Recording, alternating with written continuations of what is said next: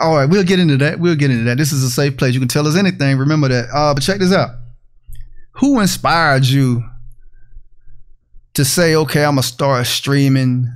Um, well, let's let's rephrase. Let me rephrase rephrase that. Mhm. What inspired you to start streaming and creating your own content on YouTube or Twitch?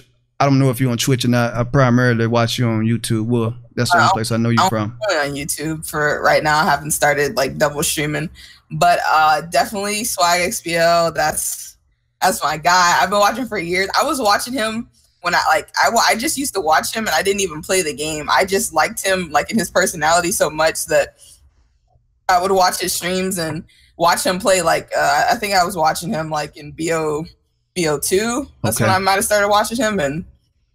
I just kept watching him for all these years, and then this past year I've started watching everybody and trying to like show love to everybody. But he's definitely him and Korean Savage are my main uh, like people that I watch that got me to wanting to do YouTube myself. Okay, salute to to Swag XB. Uh, well, he's Swag now. He dropped the XBL. He dropped the XBL, so it's just Swag and K. So they're my guys, man. What up, Swag? Korean Savage, what's up? Now the video of you freaking out, or not freaking out, but just showing tremen- a tremendous That's amount of joy, a tremendous amount of joy over playing against the Korean Savage, man. Not Korean, yeah, the Korean Savage. My bad. Game, I mean. Cream!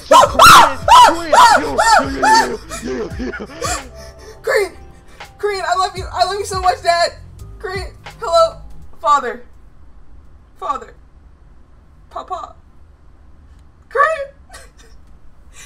Dad. I'm gonna cry. It's Cream!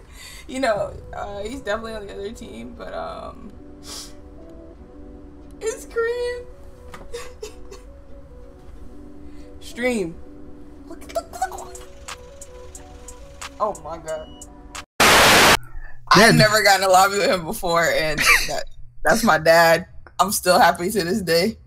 Yo, yo, that response was funny as hell. That shit warmed my heart, you know, because I know we how you, I know how you feel. Yeah. You know, I feel that way about Mark, the Marker J. Mark, the Marker J is like Michael Jackson out here, man. Oh yeah, totally.